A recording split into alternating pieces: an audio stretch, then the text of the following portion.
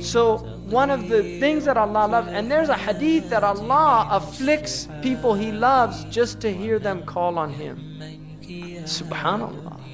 It's only for a short time. I mean, that's the thing. If you just keep it in perspective, it's just like the dentist. He said, This is only going to hurt for a second. But he's doing it for your benefit. And that's why you let him do it. It's true or not true. You know, this is just going to hurt for a second. Just, okay, go ahead. Oh, it's over.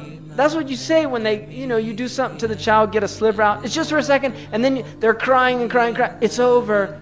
It's over. And then you hug them and everything's all right. And that's the thing about dunya. It's just, we're getting the tooth pulled out. It's 70 years, 80 maximum.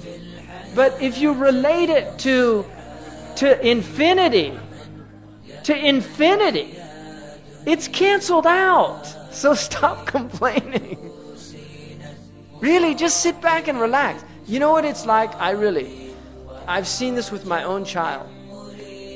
And you could do this. Take the child, don't do this. Take the child. I don't want to be responsible. It's America. They sue you if stuff like that. If you take a child and you throw the child up, there's a point where, where you see this. They go into this state of complete panic. And then when they come back to your arms, they're laughing. That is dunya. I guarantee you, that moment, that is your life. You came from God and you're going back to God. And there's just a moment where you're in a complete state of panic. But just relax. You're in good hands. You're in good hands.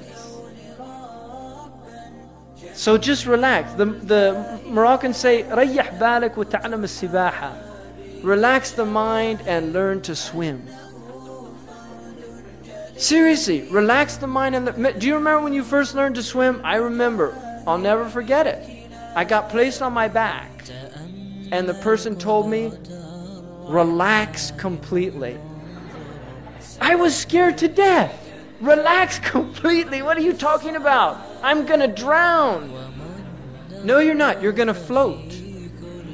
Relax. And it was frightening in the beginning, but once you learn to relax, suddenly you were floating and, and everything was fine. And that's dunya.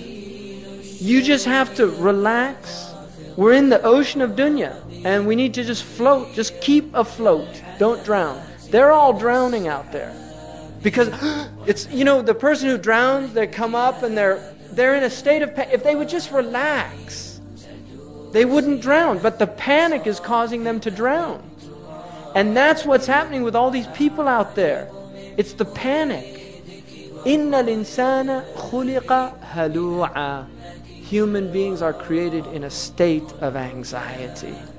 إذا مسه الشر جزوعا When any harm afflicts them, they panic. وَإِذَا مَسَّهُ الْخَيْرُ مَنُوعًا And when good comes to them, they withhold. They don't want to share it with anybody. إِلَّا الْمُصَلِّينَ Except the people of prayer. They're in a different state. And that's the people we want to be from, from the mustathnayon, the people that are exempted from that other state. Because that trust in Allah is what saves you.